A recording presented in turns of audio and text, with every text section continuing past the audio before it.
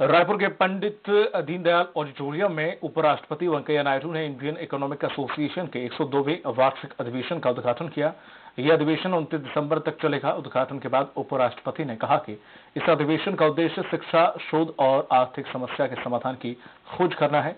वहीं सीएम भूपेश बघेल ने कहा कि देश का जीडीपी पहले क्या था और अब क्या है? जो नियम कानून लाए गए हैं, उनका कितना फ़ायदा हुआ है? अब अर्थशास्त्रियों के खुलकर बोलने का वक्त है। Sir, I'm really happy to be present here and inaugurate this conference. The idea of conference is to have discussion, debate, and make some recommendations to the concerned. And it will be sharing of experience.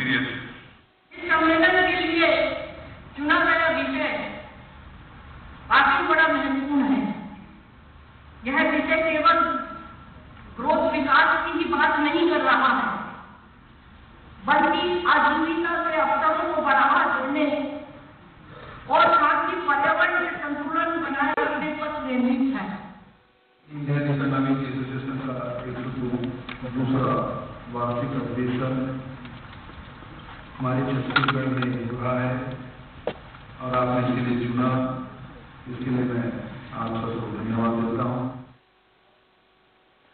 чтобы